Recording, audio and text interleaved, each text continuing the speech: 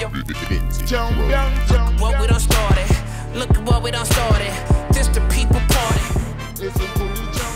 Peace and love, party people, and the place to be. This is the BKMC Talib Kweli. How you feeling? This is the world's number one best podcast, People's Party, and I got my lovely and talented, funny and thought-provoking co-host Jasmin Leigh in the place to be. What's up, Jasmin? How you feeling? Fixing my grandmother's pearls. You look like you're ready for business. I'm ready for business. I'm motivated. Like you got on your business socks. Yeah. Socks, these they're boots. But I'm I'm I'm I'm here for business. I'm motivated and ready to go. We are here for business today as well, and we are here for art, and we are here for culture, and we are here to have fun, have a good time. And today's guest exemplifies all of those things.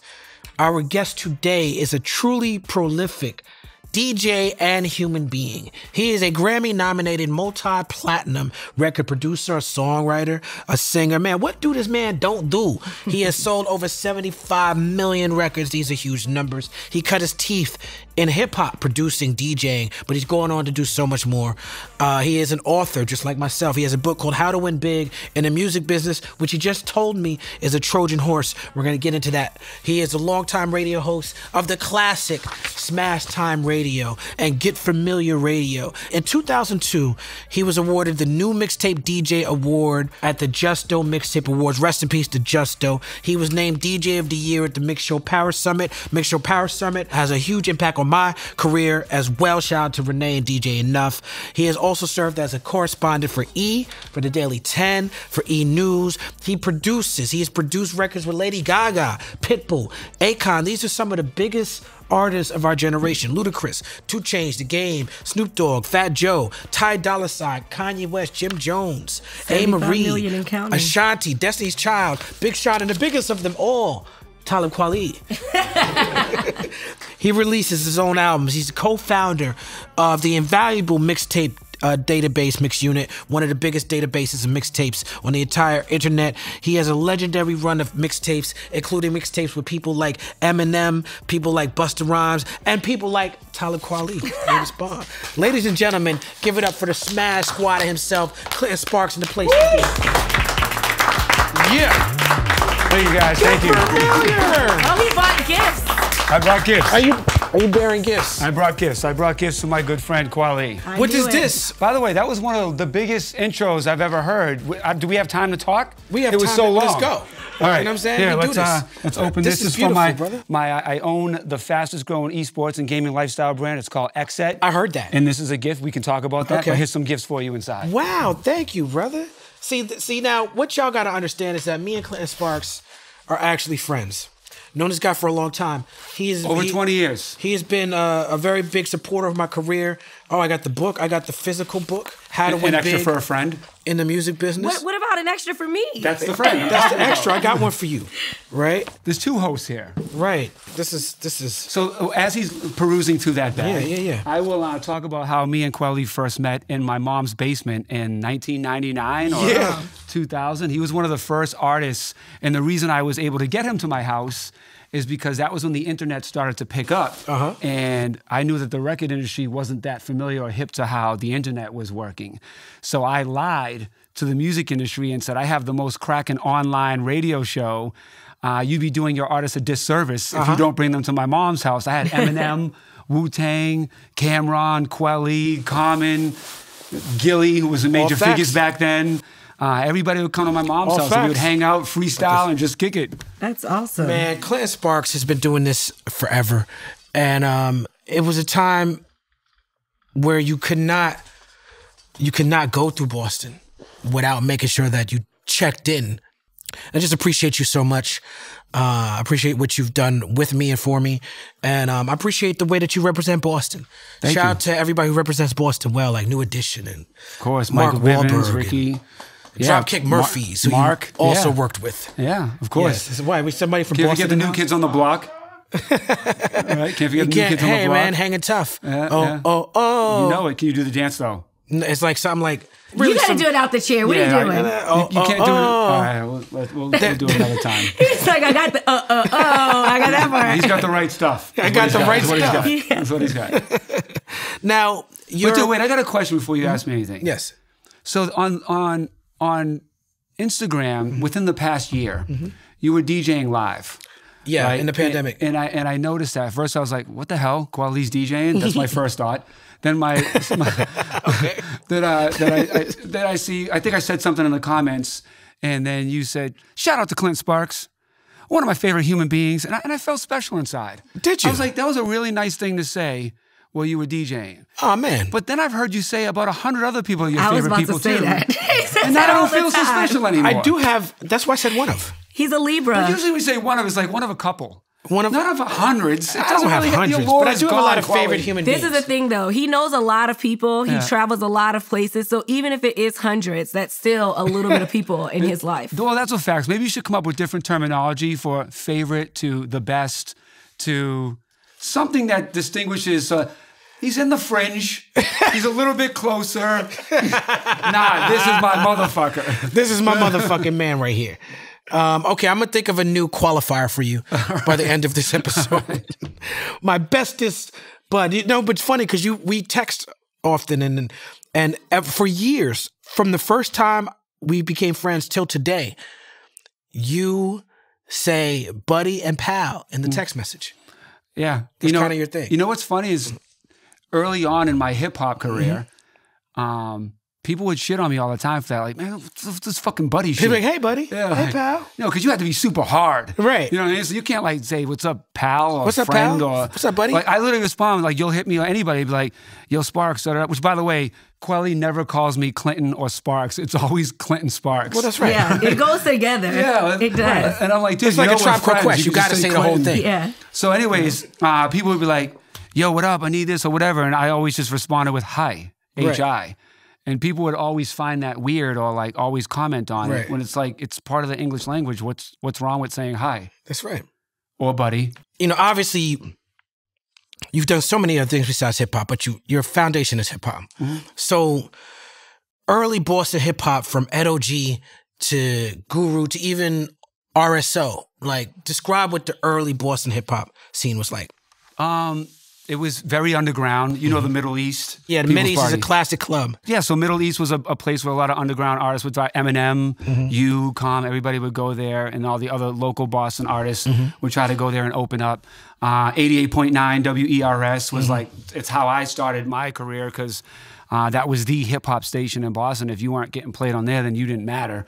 Um, so, and I would keep pushing my music to them, uh, and they would always be like, nah, this ain't it. I make another record, nah, this ain't it. Then I finally listened to this dude and I was like, what gets him excited? Like when he's listening or playing music. So I noticed the kind of hip hop he liked. So I went back and made a record that kind of had those elements in the beginning. And then he was like, oh, yeah, that's what's up.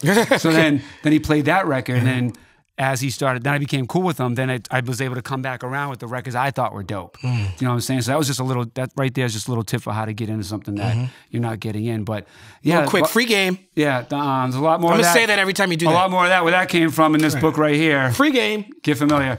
Um, but yeah, so it was a big underground scene. Seven L and esoteric. Uh, Mm-hmm. There was a lot of uh, Akrobatik. You know, there was a lot of uh, Mr. Lif. All those Mm. Yeah, man. guys.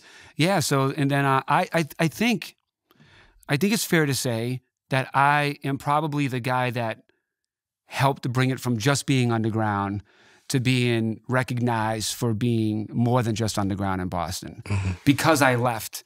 And because as you said like when you go to Boston people be like yo you oh you know my man Clint Sparks? Yeah. you know what I mean? So it kind of turned into that.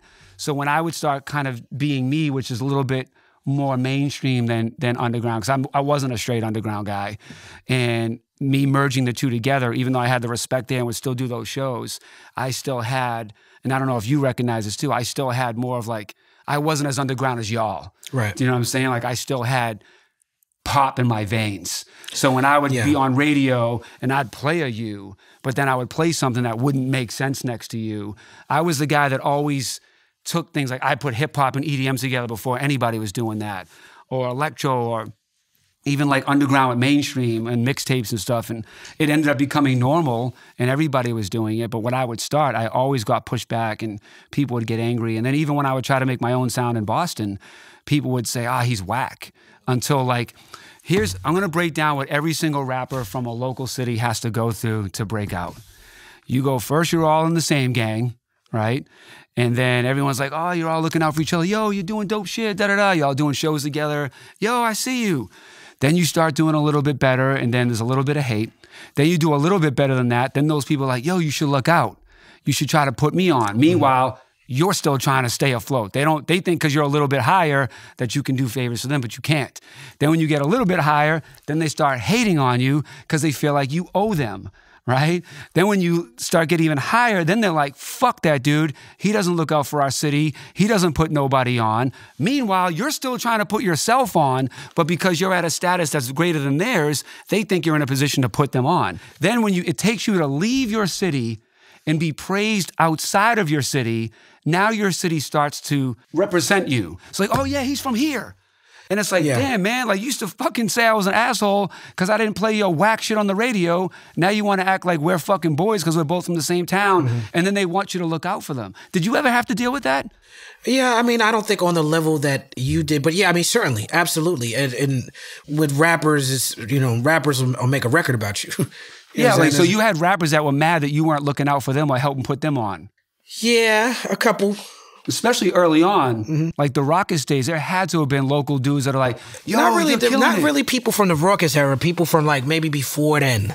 You know what I'm saying? Like Before people then. from before the Rawkus era, like Rawkus era, like You're official now. yeah, we were. It was a real, it was a real art community from that. But like maybe some local rappers, some little thing. I see things on like Facebook and MySpace back in the day. I would see things like, oh, I used to rap with that guy on when I, when I grew up on Avenue K. Let me see what he's talking about. Oh, he got a diss song about me. Oh, okay, You know what I'm saying? okay.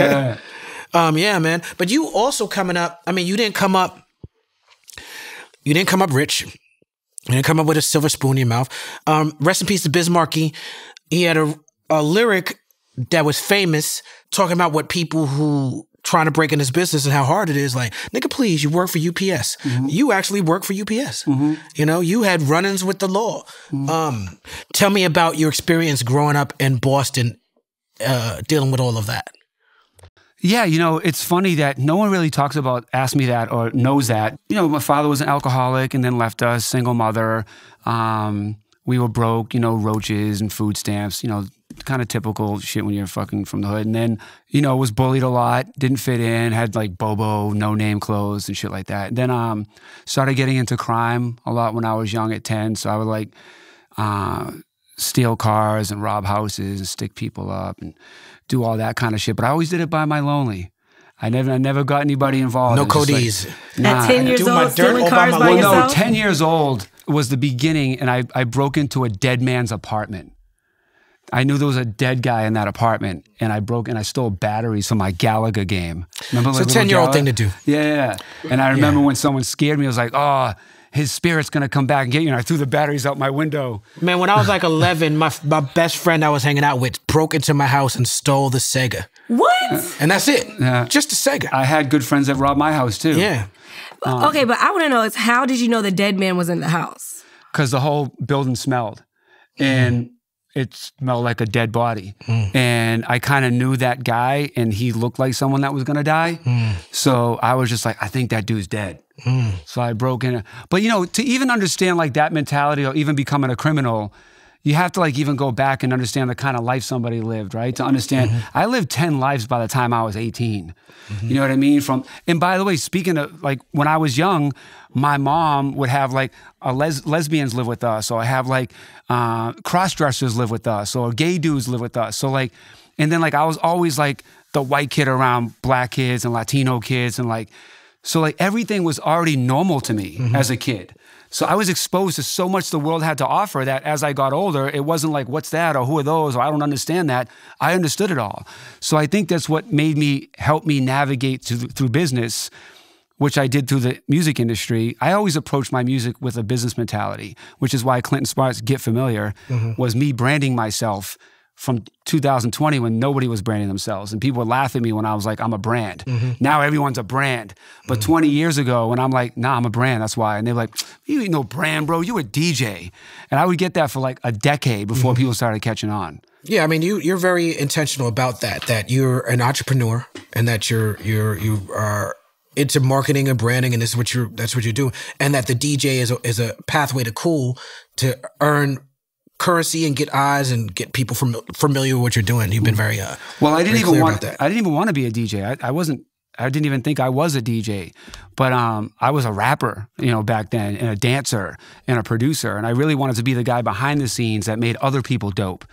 Uh, but I kept doing that and putting my own money into it, pressing up records, getting features from people with local rappers, and then they would never respect, appreciate, or understand. I'm like, now we got to do this and then this. Because look, at that point, I'm them. They're me. So why the fuck would I know more than them in their mm-hmm. mind? And I'm a white dude. Mm-hmm. So they're just like, what the fuck does this white dude know about doing this, this, and that? And so it would always end up like, all right, well, I'm just gonna go do my own thing. And then one time my girl and my friend at the time was like, yo, no one understands what you're trying to do. Why don't you just focus on yourself? And that was the day I became Clinton Sparks, the DJ producer. Right. And the reason I became a DJ is because there was a local DJ in Boston that I used to hang around with because I would make remixes and I'd go get drops from people like you and and make intros for him so his show would be doper. And I would be in the office listening to him talk to record executives who would be pressing him to play their music. And he'd be like, yo, my boy Clinton made a remix to your song. And I would hear them be like, yeah, yeah, cool. Hey, what's up with my record? So I was like, oh, so if I become a DJ, they'll be on my nuts rather than me trying to be on their nuts because they'll need me to play their shit. And at the very least, they'll give me a courtesy listen because I have Right. something to offer them. So that's when I decided that day I'm going to be a DJ. And I, the, my very first show was a 10 city syndicated show.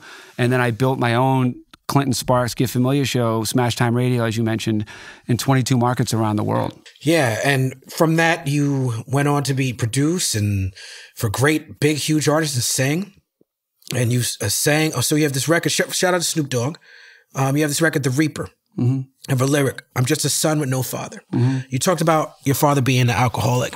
And Are you trying to make me cry on this show, Talib Kweli? no, you know, but you know, we're definitely trying to create a safe space for Yeah, you to, right. to to tell your story. Um, you have a very complicated relationship with your father, Mm-hmm. and I've heard you talk about how it informs who you are today. Mm-hmm. And I wanted to give you a chance to share some of that. Your father being a Vietnam vet, and the ups and downs and the sort of roller coaster relationship you have with your father. Well, unfortunately, we don't have a relationship today. Um, so when I was 15, because of the crime, my mom kept having to get me out of out of jail. Um, she was like, "That's it. I'm sending you to your father in the suburbs." 'cause I lived in the city. So I'm like, I'm not moving to the fucking boondocks with the hicks and that. Like, you know, when you're from the city, that's what you think back then. So I ended up having to go live with him in a suburb of Boston. And there's one a, a thing, a line he would say to me all the time that used to upset me. By the way, when I went to go live with him was the greatest thing because my father's a very like man's man, right? So it mm-hmm. was like I was just he didn't tell me how to be a man, but I would just watch him and I'd start Sylvester Stallone prior to him was the guy I looked at as how to be a man, right? So when I watched like him and Bruce Willis and those kind of guys on TV, I'm like, oh, that's what a man's supposed to be. Keep people honest, do the right thing, fight for mm-hmm. what's right, care about your family. So that's why I'm that guy today, because I thought that's what a real man is from mm-hmm. watching them. So then when I'm with my dad, he would always say things when I'd still get in trouble at school, like suspended or whatnot. He'd be like, I didn't raise you that way.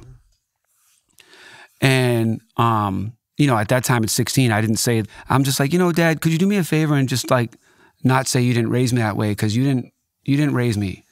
And he would be like, well, do you who do you think's raising you? And like at first, I was a little bit too timid to go at my dad about it. But then fast forward to 18, we had the kind of big father son fight that a lot of fathers and sons have, at least in our era. And um, I remember yelling at him saying, I'm gonna be a way fucking better father than you when I grow up. And he was like, Yeah, you'll see fucking shit happens and life happens. Da, da, da. I was like, Fuck you, fuck you. And I never talked to him again. I walked to the door and I didn't talk to my dad for years. And I didn't think I talked to him ever. And then I think I was like 21 and I thought back to what happened to my father as a kid that affected him to not allow him to be the father I needed him to be. And when I did research and seeing the horrible past he had, uh, which, you know, it's, that's his story to tell. But the things I can't say, like his father used to beat the shit out of him, and then he had issues with his mother, and then Vietnam, and then like who the fuck can imagine Vietnam? You know what I mean? So when I realized all the trauma that he's been exposed to, my resentment turned into empathy. And in that moment, I feel like I learned one of the keys to life. Um, so I went back to my father and um, I forgave him.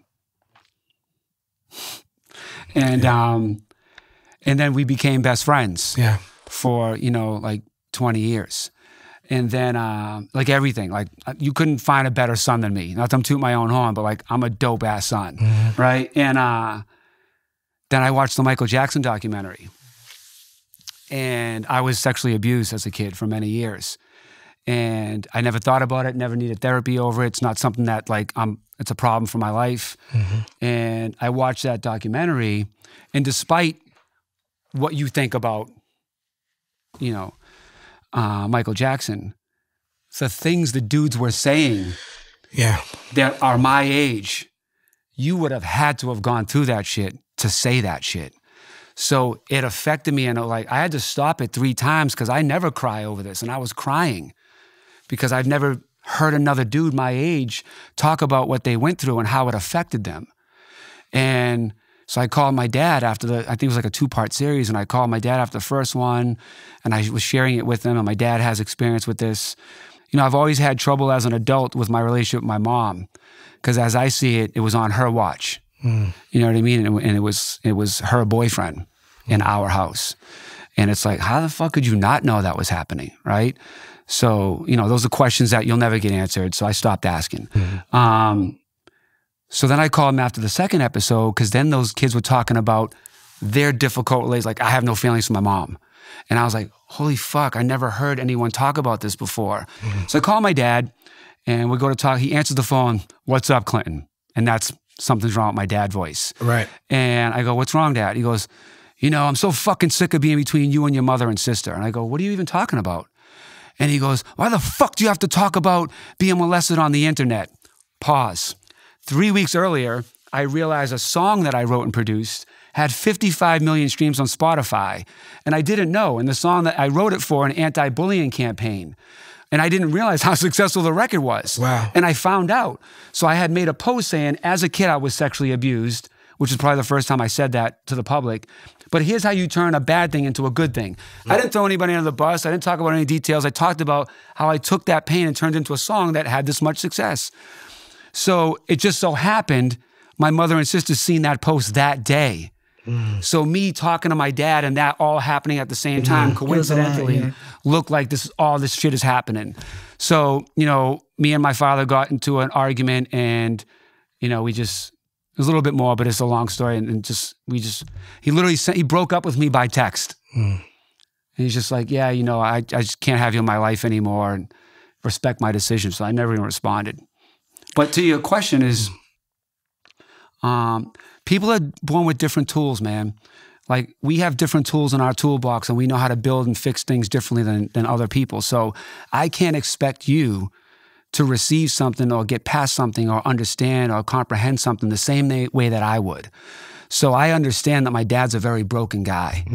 And I understand he doesn't have the tools that I have to equip himself Yeah. to get past those things and understand the loving son that you already left once, that gave you a second chance to be in his life, and you left him again. I would never leave my kids. In fact, when my marriage my marriage was kind of failing, mm-hmm. two things I always wanted to be since I was a kid. No Grammys, no being rich, none of that stuff. Only two things I ever cared about, making people happy and being an awesome dad. Those are the only two things I cared about since I was 10. Uh, and uh, one day when I was traveling, because you know how it is when we travel doing what we're doing, I asked my son, I said, hey man, I'm coming home Thursday. He goes, yay, dad, coming home. And I'm like, dude, we're going to do this. We're going to build a house. We're going to have a sleepover. We're going to watch movie. And then I go, hey man, what do you miss most about me when I'm gone? And he said, I don't know, dad, man, you just make everything happy. So in that moment, my two goals Right. were met. And then, real quick, in addition to my dad that I left out, after that big fight that we had when we made up, and I had my son Jack, a few years after he was born, me and him went out to dinner. So we're driving home, my father's driving, and he starts to pull over. And I go, What are you pulling over for? And he goes, I got to tell you something. Like, you can't fucking talk and drive, right? Right. And he's like, um, No, it's important. So I'm like, this guy going to tell me he's got cancer or something? So he like pulls over, um, and he stops and he kind of like looks up. And I, I mean, my dad's going to get upset. He like looks up in the air. I'm like, what's he about to tell me? So he looks at me. And remember when I said at 18, I'm going to be a way better father than you. This is fucking 10 years later. Um, he looks at me, and he puts his hand on my shoulder, and he goes, I just want to tell you, you're a better father than I am. Wow. Wow, that's heavy. Yeah, it was. It was a really powerful moment. And I'm doing my best to hold back the tears, Kweli. Well, I really appreciate you feeling safe enough to share a lot of that with us. Yeah. You know, hopefully other people that have tough situations can make attempts. One, understand that other people have issues and problems that they don't know how to deal with it. They don't know how to live with it. They don't know how to accept. Like I think my fa- my father's problem is because I realized because he was he's a reformed alcoholic. well he's alcoholic right? Mm-hmm. But he's a bartender at a mm-hmm. VFW and I used to think how do you do that? Mm-hmm. But then I realized he needs to feel needed and wanted. And all the people there are like man George what a great guy you are. That are like that's what he needs to feel alive. I don't need that from him. And I think that because I don't need anything from him it's intimidating and problematic and I don't it bothers him that his son has become a better man than he is. I appreciate you being so honest about the need to examine these relationships and how they impact us and being honest about the abuse, the sexual abuse. Uh, we don't talk about these things enough. And I think that you empower people who are going through it when you are honest and share with us. Well, it makes on your own time, of course. Right. It make well, it makes somebody not feel as ugly or alone or like, you know, because so it's a weird thing to talk about, right? Mm-hmm. Because now it's way more open. When we were coming up, like I would never, even coming up, I never talked about me being a criminal, mm-hmm. which I probably could have got stripes mm. coming up in hip hop. Like, yeah, I mm-hmm. used to do this, I used to do that. But I didn't. I never thought that was fucking cool. I literally did it to survive. It wasn't to fucking be cool, and that's why I did it alone. I didn't even tell motherfuckers I was doing this shit. They're just like, "Yo, how do you have?" I'm like, "My mom." Or whatever it is, because I wasn't proud, and I Yeah. didn't want some kid to say, "Well, look at Clinton Sparks. He's doing well, and he was a fuck up." What's interesting about your situation with your father for me and you being a white person in hip hop is the myth of fatherlessness being a mostly or even exclusively black thing is is very pervasive and is something that is pushed all the time despite what the numbers say and um i think your story exemplifies that you know and and i think that uh it's just very interesting to me your you very unique position in hip hop I agree. I think there's, you know, obviously there's other white guys and there's other people, but I think that, to your point, I think that I've found my unique path. And and despite all those things happen to me, the reason why I have such a, a incredible life now, mm-hmm. I mean, I've built as perfect of a life that I feel I could ever build, mm-hmm. and I because I built it by design, mm-hmm. not by circumstance. And the problem with most people not being able to find their happiness is because they allow the circumstances of their life to dictate where they're going to end up or how they're going to live. right. So I built it by design, and it's easy to build it by design when you when you pay attention to the world, when you listen. The answers are all there. People just don't listen. right Right? Whether it's your girl telling you like I don't like this about you, whether you see your parent doing something wrong, people are protesting, people will give you the answers that you need to become better. You just have to care enough to listen. what was your experience like hosting Smashtime Radio in Boston? Uh, it was great. It was exciting. I was uh, able to bring a lot of artists like Talib Kweli up there. A lot, a lot of you guys might not know this, but Talib Kweli wasn't accepted in mainstream. and, I, and like I'm, I was the guy that would be on the top 40 stations playing the blast and playing all these Yeah, records. all true story. And and every even my PDs at radio stations would be like, "What is that shit?" I was like, "It's mm-hmm. fucking dope. That's what it is. That's all you need to know." It was a really great thing to know or feel that my continuous push of underground rappers like Kweli eventually started getting them on mix show lists. Eventually started getting them added to rotation. And I know for a fact I played a major role in helping to push other people, and underground artists into those spaces. Even on E News, like Mm-hmm. when I got there, it was literally Britney Spears, Paris Hilton. Like I'm the one that brought like Pharrell and Lil Jon and you and Pusha and would mention all these names on there because I understand. Because back to my point of living ten lives before I was 18. I would understand the concept of 50 Cent thinking the lifestyle of Paris Hilton is cool as fuck, mm-hmm. but doesn't know how to talk to her. Mm-hmm. And I would understand that Paris Hilton thinks 50 is fucking mysterious and cool and dangerous, and they don't know how to talk to him. Mm-hmm. And like, I would be the guy that would bring these worlds together.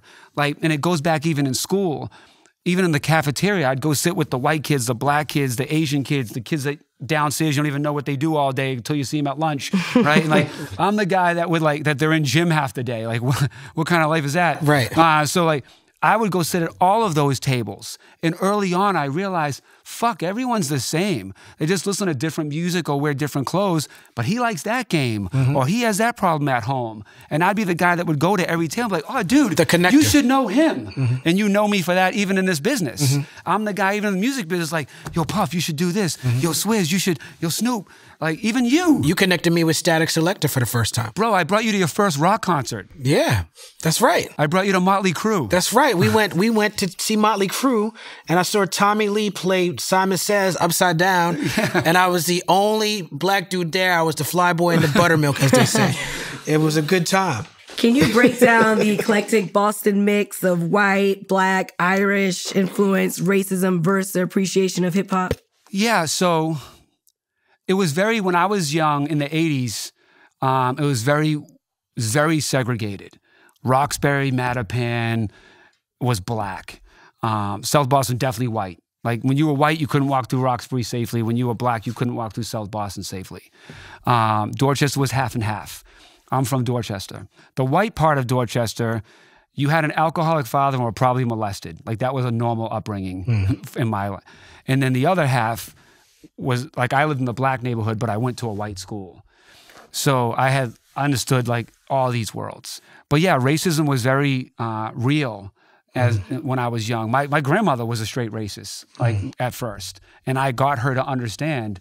And like you know, she would at the time I didn't realize how bad these words were because I'm a mm-hmm. kid, but it, it didn't sound right, right, Right. And then I'd hear her say things, and I'd start getting all like, "Whoa, man, I don't think you should be saying shit like that." And then all my friends were black, right? So I couldn't go by Nana's house with my friends because she was didn't accept that. And I was like, fuck that. And I started doing it. And then she met my friend Kevin. And then after a while, she's like, I like your colored friend Kevin. I was like, it's not a colored friend. He's my friend. Right? That's he's my friend, Nana. Right? And then uh, then she'd meet ano- another friend of mine, then another friend, then another friend. Then she literally went from being straight like racist to like not at all anymore by the time she died. My sister had a baby with a black man, and like it was like, Now, a teacher. yeah, take that. How do you like those apples? Uh, I think you know because of how many worlds I lived in, and because I understood, and because nothing was weird or different, um, like I just understood and accepted and respected every culture. I didn't see sex, color, race, religion. I just seen, are you a dick or are you not? That's all I ever gauged in my entire life. Would I fuck with you if you're an asshole or if you're just a good dude? Yes, yes, yes. MixUnit, man. MixUnit was so big, or so big and so important. Once again, rest in peace, Justo and mixtape awards was so important. But um, tell me about the creation of MixUnit. you know, being a mixtape DJ, um, building a big mixtape following and starting to like really like smash the streets. It was like, what do we? So what the real the real way that was built because me and my partner Mike Rios, if you know mm-hmm. Mike. So I was dealing with a bunch of dudes that didn't understand how to run business mm-hmm. with all the mixtape sites, which you probably remember too. It's just mm-hmm. it was super whack. And I'm like, man, you ain't paying me on time, or yo, you ain't responding to me when I got to put this mixtape out. It was just problematic. It was just ran from all dudes in the hood that didn't really know how to run a business. So as I kept complaining about it, uh, which is what I still do to this day. If there's a problem, then I'm just going to go fix it. Or I'm just going to go do it. So Mike had brought this to my attention. Why don't we create a mixtape site? And I was like, yeah, we should. And this is how we'll run it. And we'll care about customer service. And we'll care about doing right by the DJs. And we'll care about promoting these artists that are on these mixtapes. Because prior to that, the mixtape sites were just like money makers. Right. Give me a mixtape. Here's two dollars a mixtape. I sell them for ten. I make money. That's it. So we decided to build that and just become the mecca one stop shop for all mixtapes. And mm-hmm. MixUnit was so big, it made $5 million its first year. Wow. And it was so big, it knocked a lot of the other mixtape sites like off the map. One being my boy Q, mm-hmm. who had a mixtape site, and he was like, "Yo, what should we? What am I gonna do now? Fuck y'all, man! Like MixUnit's so big, I can't do this shit no more." And I was like, "Bro, here's what you should do. You should be. You should aggregate all the videos." Of all the shit that goes on in the streets, like all the club fights, all the fucking, all the just debauchery that goes on in the hood and in the streets, and put it on one website.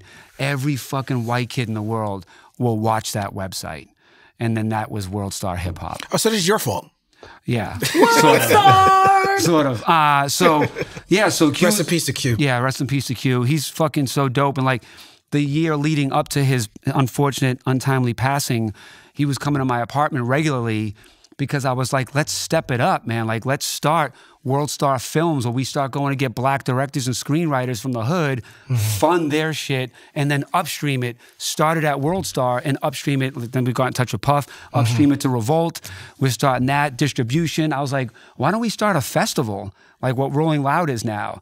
So Q was like totally into doing all these mm-hmm. things. And we were getting ready to to start doing all this to the point that Q literally said to me the last time he was at my apartment before he passed, Yo, Sparks, how much how much equity do you want in WorldStar?" And I was like, and I never expected, wasn't looking for that at all. Mm-hmm. And I was like, dude, you don't have to give me any equity. He's like, nah, you've been here since the beginning, and you're still here trying to help me, and you always have my back. Like, let's figure this out. Mm-hmm. But like, just to show his heart, how like he was so giving and caring that I didn't ask for it. He mm-hmm. didn't need to give it to me, but the fact that he was like, let me give you a piece of World Star, you know what I mean? And then obviously that didn't pan, none of the things we talked about panned out, but yeah, Q was a great dude, man. Yeah. By the way, those are earbuds from Ray J. Oh, okay. I was gonna I was gonna ask that, but thank you for for letting me know. Those are Um, Ray J's uh, uh, Oh. Raycon earbuds. Okay. Wait a minute. Wait a minute. I heard that you had one wish, so I brought you some. I did have one wish. All right. So how did you link link up with FaZe Clan? Uh, so how I got down with FaZe Clan and helped build that company to be as big as it became is my buddy uh, Greg Selkoe, who was the owner and, and CEO of Karmaloop, which you remember. Um, somebody had talked to him about coming over to FaZe to help build that brand. Um, at the time, they were just a bunch of popular kids online. They didn't have any business model, any revenue drivers like that. So Greg calls me one day. At this time, I'm vice president of Dash Radio. And he calls me, he goes, I need you to come to this office real quick. We're going to do some dope new shit. So I was like, all right. And I just headed over there. When I went over there, it was like boiler room, just people like running around. I'm like, what the fuck is this? And he was like, dude, we're getting into the gaming space. And I was like, what is that? At this time, I didn't know how big, I didn't know how big it was, right? So I sat there and I, I paid attention, and looked around, asked some questions.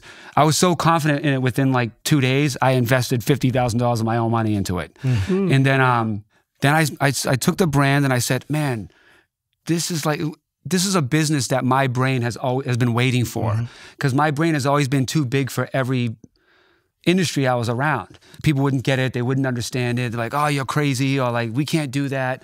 And when I seen this space, I was like, "Holy shit! There's no limits to what we can build here, and there's and it's it's for everybody." Right. But everybody doesn't know about it Right. right? So I was like, how can I intersect all of these cultures that I'm a part of that I, I know how to talk to and communicate with and intersect into this gaming space that's got billions of gamers around the world that, again, back to the 50 in Paris mm-hmm. concept, don't know about each other, don't know how to talk to each other, Right. don't understand these opportunities out of here. Like, if, like, you don't, like, when you're from the hood, you look at music or sports to get out of the hood, right? Gaming is the new way Right. without dribbling a ball for 15 years. Mm-hmm. Do you know what I'm saying? Like you can literally become your own entrepreneur and make hundreds of thousands of dollars gaming. Mm-hmm. But no one's telling anybody in the streets this. Right. There's no narrative out there like, bro, do you know? Like we're just in barbershops and studios playing Xbox with Talking 2K with shit for boys. free. Yeah, just for free. Like there's so much money out there to make, but no one. So I wrote a whole op-ed about how gaming's the new hip hop, right? And and you can post it out there. But with FaZe, I was I brought Offset, Yo Gotti, DJ Paul, Troy Carter, like Ray J, mm-hmm. like all these people into this space, Big Boy. And like, trust me, for a whole like year and a half, I'm calling everybody, everybody we know, Right. from Busta to Swit. Like I'm telling, yo, you got to get in. This is next. Have I ever steered you wrong? Right? And like, nah, but I just don't get it. Or Raleigh, yo, yo, Sparks. My gaming days are behind me. I'm like, bro, I'm not trying to make you Julian Edelman. I'm trying to make you Robert fucking Kraft, bro. Like, let me teach you about Right. this space that you can make a shit fucking ton of money. That all these kids fucking love you. So I finally, Yo Gotti was the first person that got it. Shout out to Yo Gotti for getting it. Uh, he was the first person to invest and come over and really understand. I went to his house like three times to convince him how this is the next wave. And bro, like I'm always forecasting trends. I always know the next wave. And I'm not saying that to toot my horn. It's fucking giving a shit. It's paying attention to what's going on, what people care about, what they're talking about, looking down there, right? So mm-hmm. like I'm like, oh, this is like even when I said earlier, when I started mixing hip hop and EDM, I remember going to Steve Aoki and like, yo, check this out. And he was like, damn, man, you're doing this. I look at you to see what's hot in hip hop. And I'm like, Right. this is what's going to be next that's hot in hip hop, bro. And like, then it became that. Was turned down for what? One of the first EDM hip hop mixes? No, Or that was is- that was years after. I feel like turned down for what? It has EDM I elements, but that's still a hip hop record. I feel like. It's- Well, Snake is hip hop. Snake Yeah. is hip hop, and like so to close out FaZe because I'm sure you can ask me about Snake. When I started bringing all those worlds, and by the way, when I wanted to bring Offset there, I had an argument with the CEO for months about why this makes sense. He was like, "We're not a, a music company. Why would we do that?" And then even as I'm like convincing Offset like why it's smart for you as an entrepreneur and it's a power play for you and it has all these other opportunities and starts adding levels to your portfolio. Um, he understood. I'm talking about how we can integrate these worlds and how we can amplify your objectives and how we can build ancillary businesses around here in this space because now you'll have an authentic footprint in here. So he's excited about it. Mm-hmm. So when we signed him, we're supposed to do a big announcement about it. And then like it's not happening. So his manager's hitting me like, what's going on? And now I'm always the voice and the guy that's fighting for us. Mm-hmm. Like, you know what I'm saying? For hip hop in corporate America and whatever it is. And trying to convince people that don't get it why it's dope, right? And I've always been that guy. So even with gaming, I'm trying to convince them. And I remember getting a call, and I've never said this. I don't usually like put negative things out there about about people, but you're my man. Okay. And and and because like, you know, people have been trying when I left FaZe, all the media has been like, Why'd you leave? Why'd you leave? Because I left. I'm like one of the top motherfuckers making that shit hot.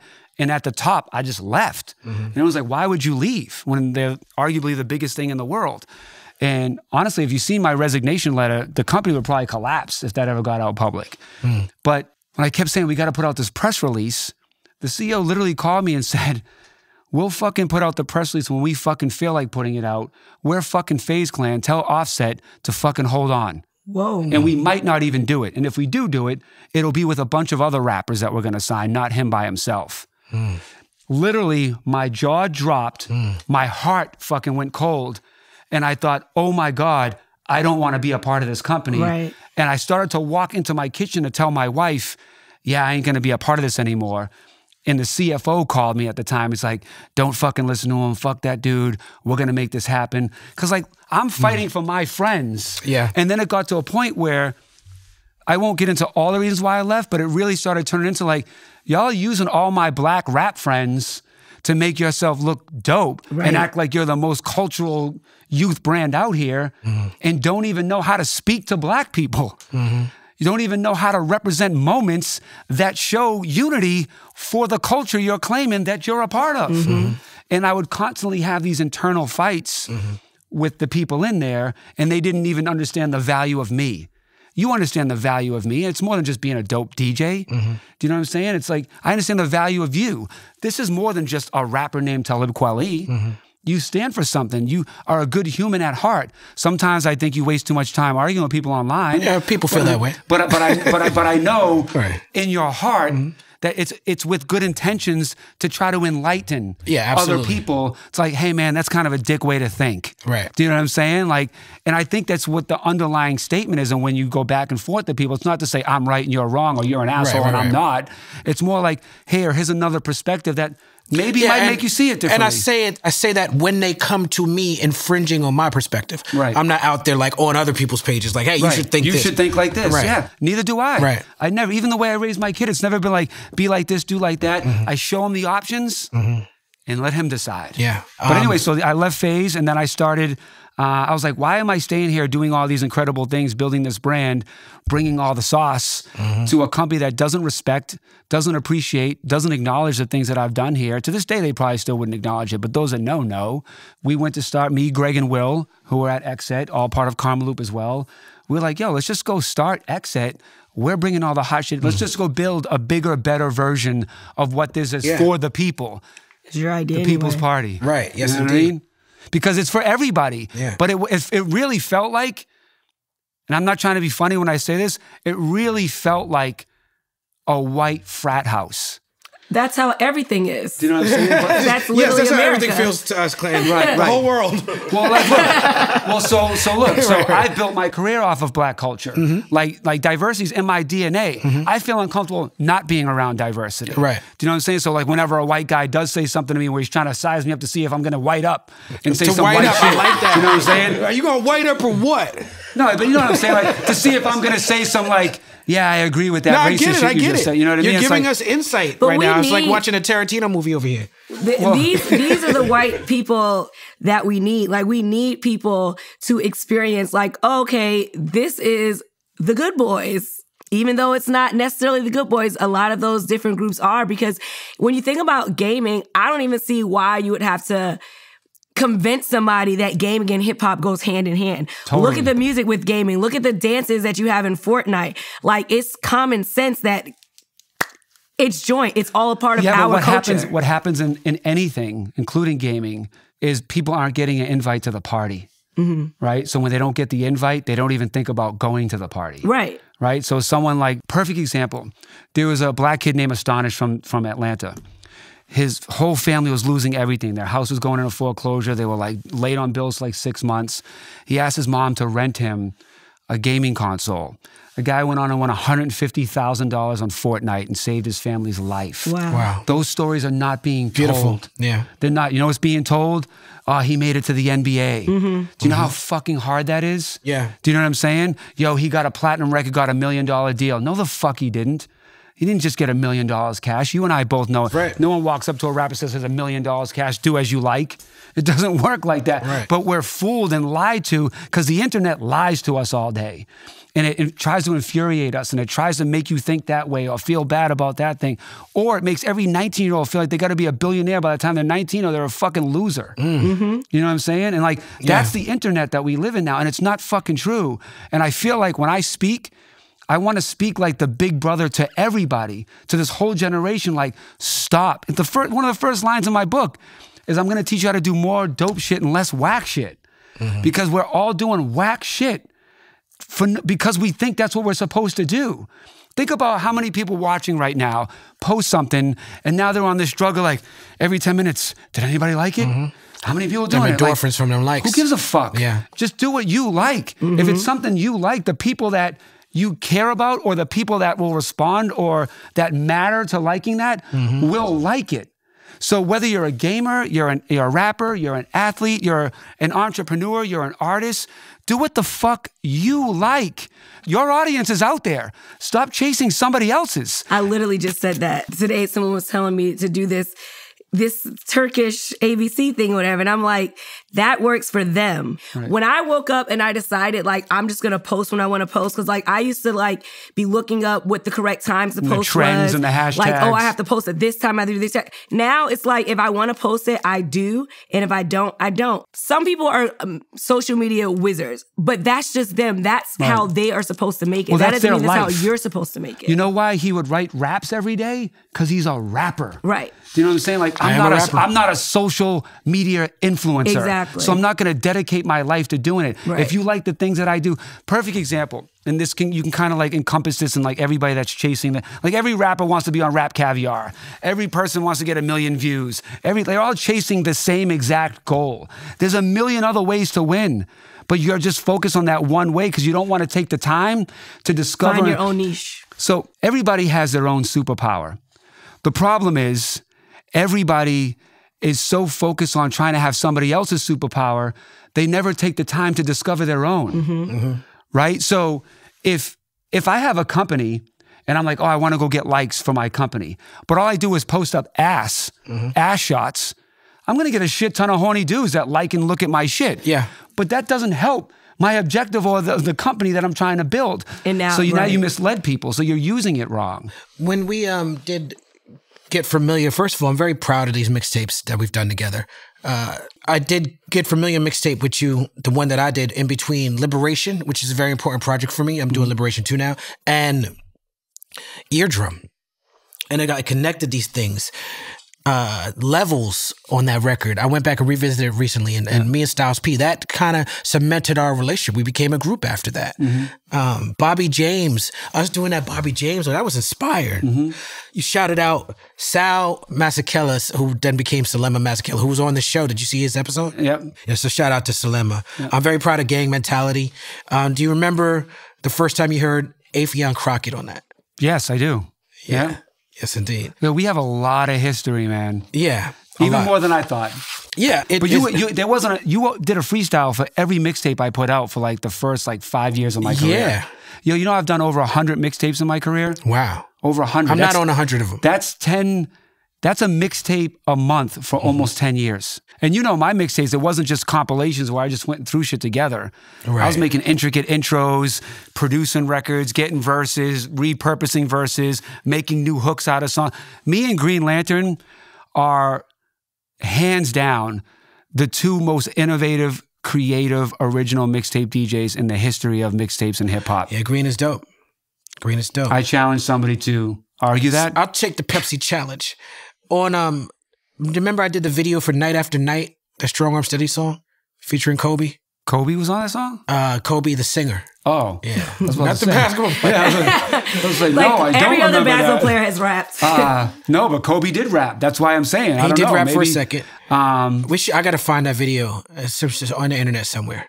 But it's a video for the song we did on your mixtape. It's the only place that song is is on the mixtape. But shout out to DJs who are living their best life, like DJ Mighty Mi, who I enjoy going to Vegas and seeing him DJ and doing those like sort of EDM uh hip hop things that he does. Yep.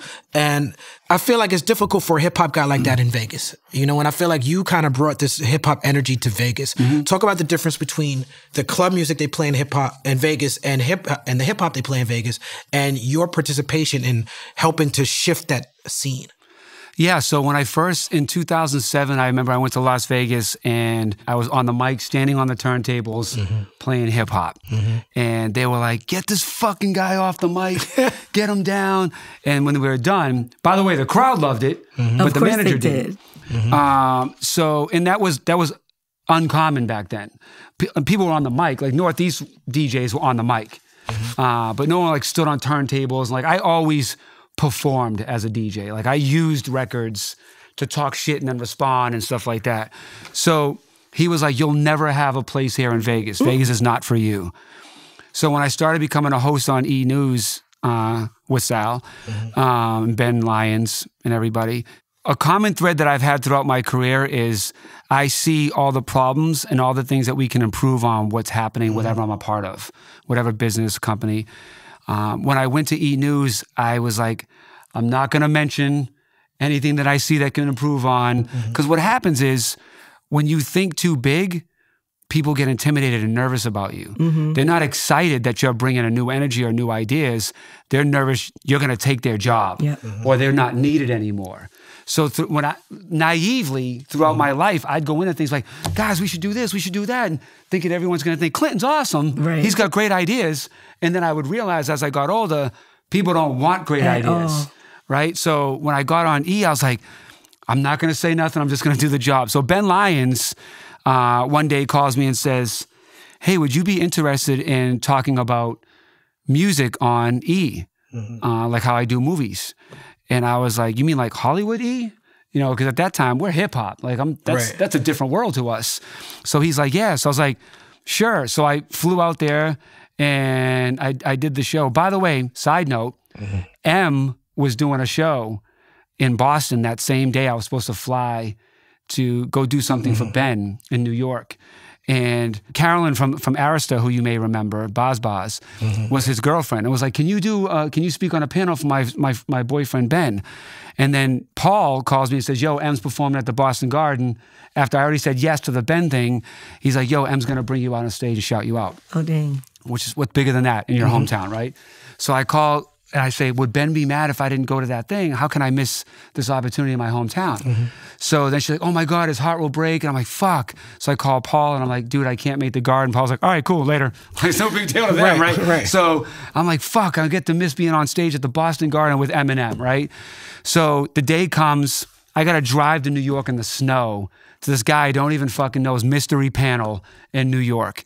So I go and I do it. was like me, Kid Capri, and I think Jusky and somebody else. There's like four people in the audience. Mm-hmm. It was whack, right? but I met Ben. A few months later, Ben calls me. Would you ever be interested in being on E News, mm-hmm. being the music correspondent like I do movies? They mic me up. I go live on mics go off like that was awesome can you come back next week sure so i buy my own ticket i come back next week i do it for a few weeks and then i'm like am, am i getting a fucking job here? Like what's happening? So i end up getting a contract there. And as i'm working there i'm noticing the things that could be happening that are not happening because there's no one there pushing it. I'm pretty aggressive. I'm very matter i'm from boston matter of new york's like that matter of fact to the point are we doing it or not right? I don't beat around the bush. So the the chair uh, the president of Comcast comes down one day and he's sitting on the side of the stage watching us do the show. And I do my part and I come over the side. I'm just kind of standing there. He's standing there. And he goes, Well, you know, we really love having you here. And I go, Well, I love being here, Ted. And I said something smart. I don't remember what, but he gave me that all too common look of, Aren't you just a DJ? Which I've got a million. I'm sure you've got, Aren't you just a rapper? Yeah, absolutely. Right? And then he goes, um, Come up to my office when the show's over. So I go up to his office and I like literally lay on the couch. I go, Ted, what are we gonna talk about, bro? Right? So so we're just kicking it. And he goes, What do you think about the show and the network? Crucial moment in my life right there. Do I tell him what I really think and maybe piss him off? Mm-hmm. Or do I just say, everything's great, I'm happy to be here? Me being the guy that can't fucking not be honest, I'm like, well, you're missing money here. You're not talking to this audience. You could be doing co-op advertising here. That I just came from Hong Kong and a bunch of girls recognized me from E. You're not doing like. He's like, wow, interesting. I go, he goes, do you have any ideas? I go, yes. And he goes, what is it? And I go, well, instead of you guys chasing all of these celebrities at parties around Hollywood, why don't we build our own party? That the celebrities come to, mm-hmm. and it's a destination spot for people around the world to want to go to the famous E party because Right. there's probably going to be celebrities there. So he goes, "That's amazing. How do we do it?" I was like, "Give me a week." Right. Talked to Sal. Sal knew Phil Shalala, who was at the Hard Rock. Within two weeks, we had the biggest party every Saturday for three years mm-hmm. at the Hard Rock that would literally have Kanye and Paris in there at one time. Toni Braxton, Asher Roth, Ne-Yo, and Brody Jenner at one time. Like, I was literally bringing all of these worlds together in there, and I was playing hip hop and I was playing all the hot shit that we want to hear. Mm-hmm. And then we built Rehab, which became the first Sunday pool party Right. that oh, now Oh, created Rehab. all Sunday pool parties. So, you know, it was it's just understanding what's needed and what the people want. And that's Right. how that's to your point of how did we bring hip hop into Vegas, that's how. And oh, by the way, fuck that manager that was like, "Yo, you'll never last here. Hip hop is not wanted." In, Yeah, man, in fuck that Vegas. guy. Hip hop's all over Vegas now. Fuck Uh-huh. that guy. Um, around that time, you also work on a Iconoclast album, or dropping that. Shout out to Da and Chester French. Yeah, man. I worked with Chester French, and those guys are such such great guys. Oh guys. yeah, you're on one of those records we did for uh, the Chester French mixtape. I think it's me and Bun B on that on that together. It is you and Bun B. Yeah. Yeah, fuck. Another Me and record Bun we B are did working on together. the album. You got some Now. beats right now. Of course I got Right beats. now. I was just with the Bunster the other day, Right now. having a chill burger. Yeah, man. I haven't had one yet. Oh man, we want Trill Burgers. we just interviewed Well, him he's again. happy to stuff one down your throat. Yeah, he he he was the first guest on People's Party. Oh wow! And we just we just Bun B's had him one again. of the greatest guys. There's so many people that are just dicks and have like Mm-hmm. cocky attitudes. Like maybe not now, now that they've kind of passed their prime and now they've come back down to earth and they're cool. Mm-hmm. But there's people that are like still the shit.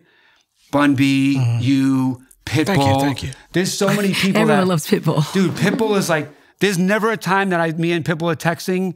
Like, me and you might be like, yeah, cool, all right, dope. That's what's up, right? Like, I'm not a texter. yeah, at all. Like, you don't even respond half the time, right? oh, good. It's not just okay. Great, Right, great. but like Pitbull's always like every text, you would think it's in his signature, but it's not.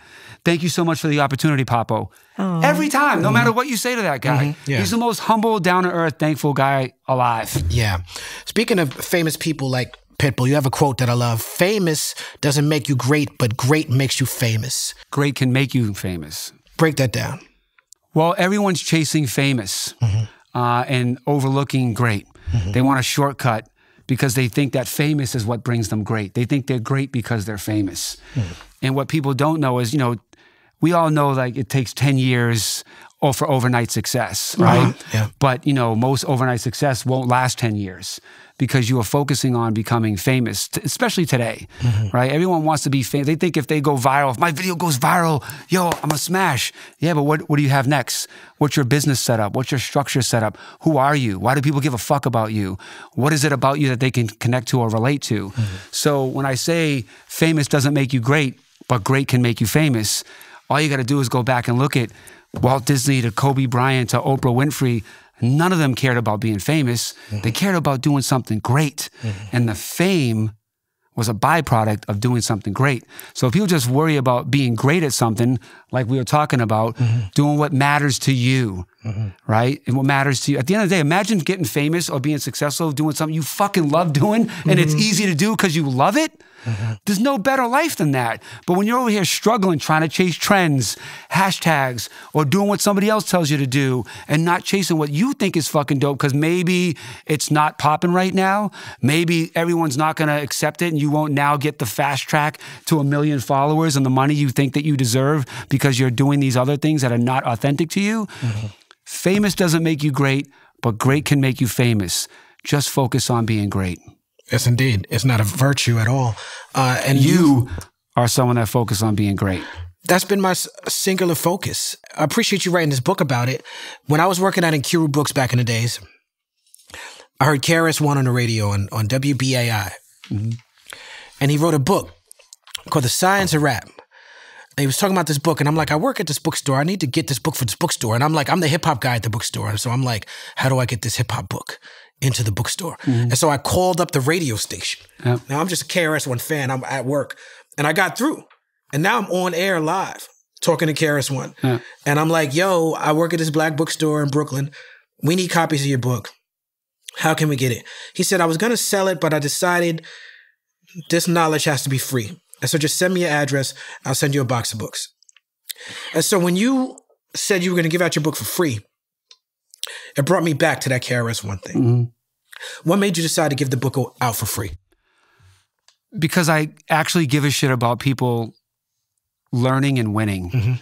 Um, and I'd kind of be a dick if I knew the blueprint to make your life better and didn't share it with you. Um, so that's why, I mean, I probably gave away 10,000 of these books for free. Wow. Um, and every time I see people, I give it away for free. But that's that's the gist of it. I just want to like, I care. I want mm-hmm. you to win. I want you to figure out that you're in your own way. I want you to realize like, bro, you might be the problem. Mm-hmm. You know what I'm mm-hmm. saying? And like a lot of people don't have the understanding of that. Like it's hard for people to realize everyone can tell you what they think they're great at. No one sits here and says, like, yeah, I suck a little bit. Or like, here's why I suck. Here's why my relationships don't work. Here's why I'm not winning. If they took the time to look for the reasons or the excuses and change that into learning how you can better yourself or what you might be doing wrong, those are the keys to being a better you and being successful in whatever business it is.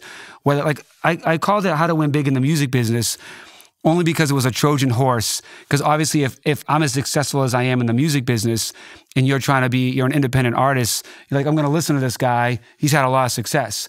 Mm-hmm. Realistically, this is how to win big at like like Rob Dyrdek, Daymond John. All these guys would call me and be like, "Why'd you just limit it to the music business? Mm-hmm. This whole book teaches you just how to win at life." Mm-hmm. But I know that if I want to give you the medicine, I got to put it in the candy that you like right? And then you you don't even know that you're learning or becoming better by reading these things that I'm teaching here. But ultimately, you're becoming a better human being by learning that. Like my new book comes out uh, in a few weeks. Uh, well, I have a new book out.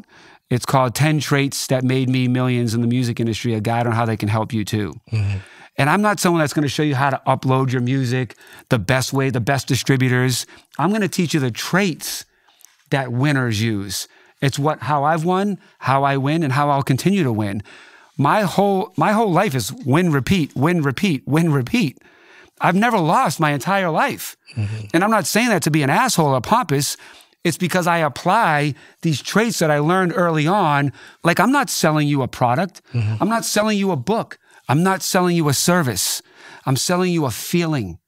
And if I care enough to know the feeling that you need, then I can sell you anything.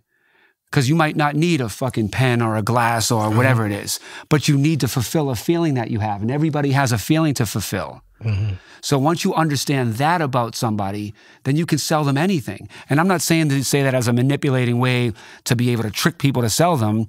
That comes from the foundation of caring about the feeling that people need to fulfill.